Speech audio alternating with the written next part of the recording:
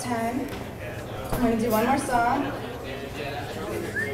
And yeah, thank you again for listening. Stick around. Okay. Yep.